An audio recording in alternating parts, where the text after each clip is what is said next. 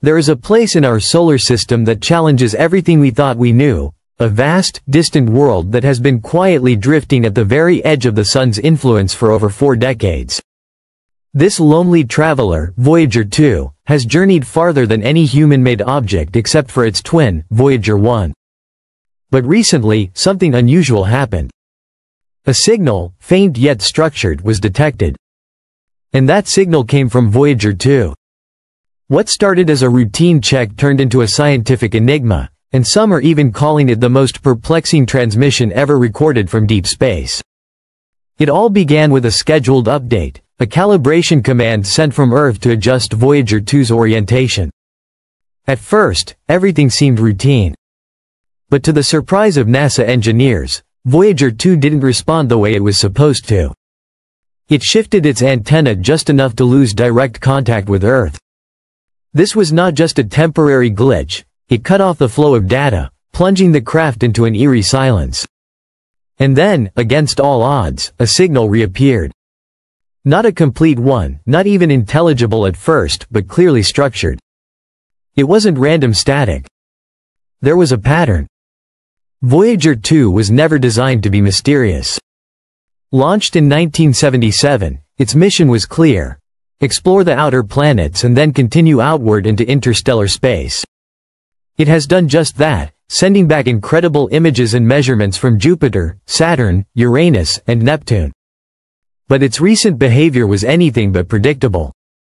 With instruments aging and power levels dwindling, every year it survives is a miracle of engineering. Yet, when this signal arrived, scientists were stunned. It appeared to follow a rhythm, not Morse code, not binary, but something between a pulse and a repeatable sequence of data packets. What did it mean? At first, many assumed it was just Voyager 2's aging hardware malfunctioning. After all, it's more than 19 billion kilometers from Earth. Communication takes over 18 hours one way. But when independent scientists and data analysts reviewed the signal using digital filters, they noticed something strange. Embedded within the signal was a subtle modulation, like a fingerprint that didn't belong to the probe's original system. Some speculated that this may be the result of radiation damage or interference. Others weren't so sure. The structure was too deliberate. Speculation exploded in the scientific community. Could it be a reflection?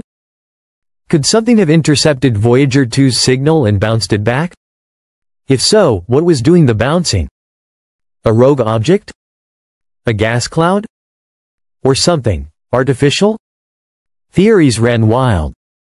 One of the most talked about ideas was something called the mirror theory. According to this, Voyager 2's signal may have been reflected by an object or structure beyond our understanding. Something designed to echo communications in a specific way. Like a cosmic answering machine, it sends back what it receives, but with its own embedded signature. Some scientists cautioned against jumping to conclusions.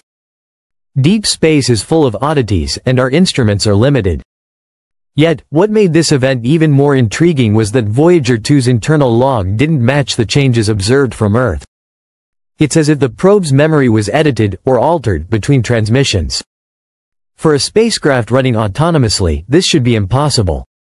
Unless, of course, something had accessed its systems. That suggestion was quickly dismissed as science fiction by NASA. But outside official circles, many experts began analyzing the implications more seriously. Voyager 2 runs on ancient technology by today's standards. It has a memory capacity of only 68 kilobytes, less than a modern email. Its software is written in assembly language, hardwired and difficult to tamper with. Yet, somehow, this structured anomaly made it through. Could it be that something interfered with its systems in a way we don't yet understand? If not extraterrestrial, then perhaps quantum effects or interference from an unknown type of cosmic particle? The questions piled up faster than answers could be found. As more scientists around the world reviewed the raw data, often unofficially and anonymously in online forums, a growing number began to report similar conclusions. The signal wasn't just structured. It was reactive. When Earth transmitted a follow-up command, Voyager 2's next pulse change. It was subtle, but enough to suggest interaction. What if Voyager 2 had become an unintended beacon, a probe that not only listens and speaks but also learns?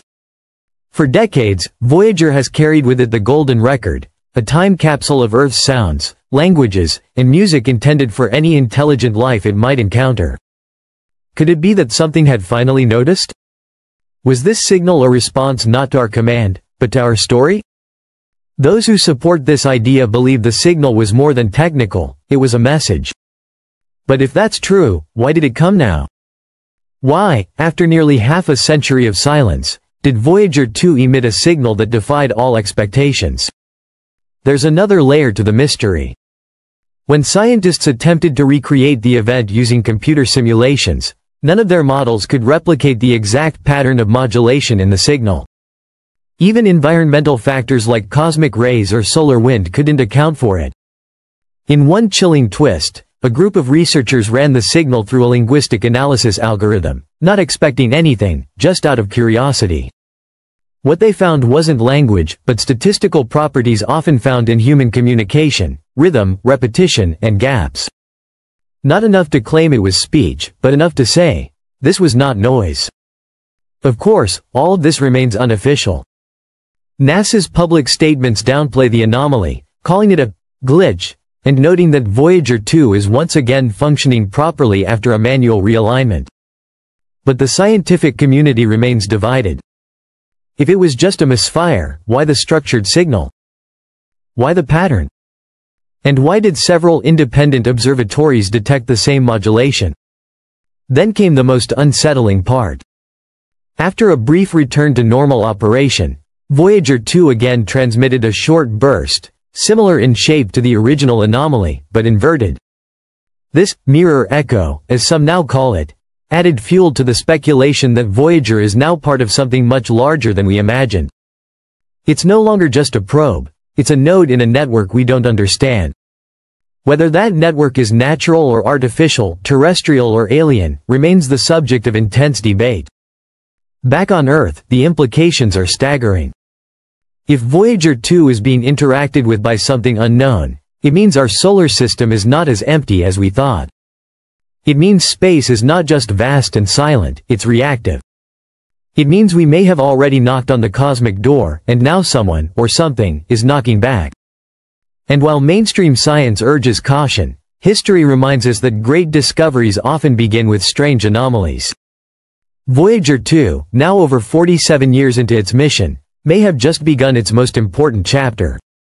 Not as a silent observer, but as a communicator. Whether that communication is with another civilization, a deep space phenomenon, or something our physics can't yet explain, one thing is certain, it demands our attention. The signal may have been faint, almost missed, but it may turn out to be the loudest message humanity has ever received from the stars. As we peer deeper into space with ever-advancing instruments, from the James Webb Space Telescope to future interstellar probes, we must ask, how prepared are we for contact? Not just with alien life, but with alien systems of logic, transmission, and thought? Voyager the second of may not have just traveled far from Earth.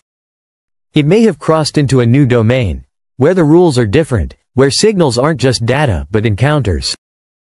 In the cold and lonely dark between the stars, a spacecraft built by humans may have stumbled into a whisper from the universe. And now, that whisper echoes back through time and space, asking us to listen more closely than ever before.